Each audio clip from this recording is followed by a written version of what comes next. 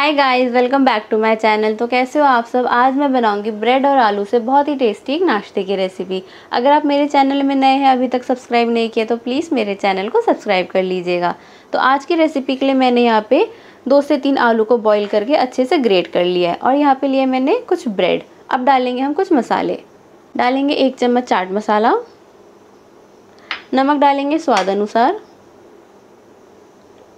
डालेंगे यहाँ पे आधा चम्मच कश्मीरी रेड चिली पाउडर, आधा चम्मच जीरा पाउडर, आधा चम्मच धनिया पाउडर। और थोड़ा सा डालेंगे यहाँ पे कटा हुआ हरा धनिया।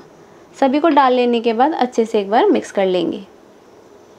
मसालों को अच्छे से मिक्स कर लेने के बाद हम इसको इस थोड़ा सा साइड रखेंगे और हमें ब्रेड को थोड़ा सा गीला करना है। लेंगे हम एक प्लेट थोड़ा सा डालेंगे पानी।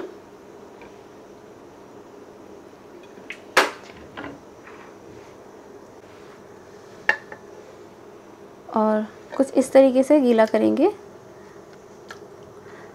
एक बारी में हम डिप नहीं करेंगे, नहीं तो हमारा ब्रेड पूरी तरीके से सॉफ्ट हो जाएगा और टूट जाएगा। थोड़ा सा गीला कर लिए और इस तरीके से हम प्रेस करते हुए पानी निकाल देंगे। गीला हो गया और हम लेंगे थोड़ा सा आलू का बैटर और इस तरीके से डाल के हम फोल्ड कर लेंगे चारों ओर से।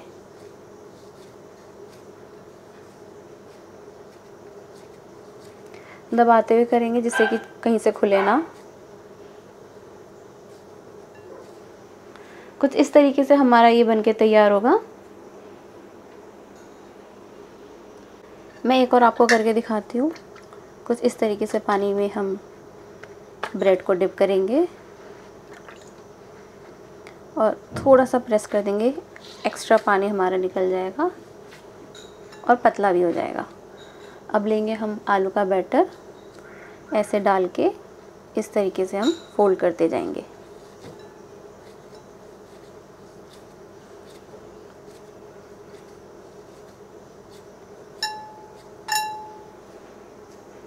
कुछ इस तरीके से हमें करना है। इसी तरीके से हम बाकी भी तैयार कर लेंगे। अब हम लेंगे एक पैन। पैन में डालेंगे तेल। तेल जैसे हमारा थोड़ा सा गर्म हो जाए, हम इसमें एक एक करके नाश्ता डालते जाएँगे। मीडियम फ्लेम में हमें इसे फ्राई करना है दो मिनट के लिए, फिर हम साइड चेंज कर देंगे जब हमारा अच्छा सा गोल्डन ब्राउन कलर आ जाएगा। दो मिनट हो गए, अब हम साइड एक बार चेंज कर लेंगे और देख सकते हैं आप कितना सुंदर इसमें ब्राउन कलर आया है। इसी तरीके से हमें इसे फ्राई करना है।